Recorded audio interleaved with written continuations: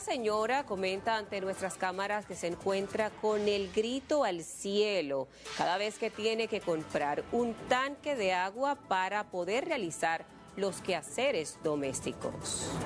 ¿Cómo sobreviven ustedes ante la falta de agua potable? Comprando tanque de agua. Y yo creía que esta agua, de que hicieron esa tubería, iban, iban a entrarla y no la han entrado. Yo hice un sacrificio, puse mi cometida de agua de una vez, porque yo soy una persona sola y lo que trabaja en casa de familia, ¿tú ves? Y le doy gracias a Dios que yo ni robé ni cuería, pero entonces vivo pendiente al agua, pendiente a que arreglen también las calles, porque todo está que da vergüenza y pena, sinceramente, este barrio. Mira, que no, esos, esos, desde que pusieron los tubos yo puse eso y mira cómo me está, dañando de la, de la vejez ya que lleva eso. Que hace tiempo que hicieron ese trabajo.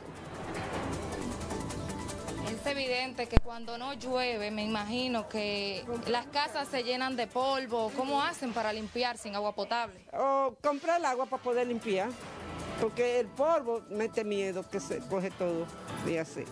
Comprar agua y un tanque de agua cuesta 60 pesos. Uno tiene que comprar varios tanques de agua si es posible, pero si uno tiene que lavar y tiene que lavar, tiene que comprar agua, vuelve y pasa otro camino, vuelve y comprar, y así uno se va gastando, uno lo va a comprar para poder tener el agua, porque lo más necesario, sinceramente, hasta que un plato de comida es el agua, porque el agua es la vida.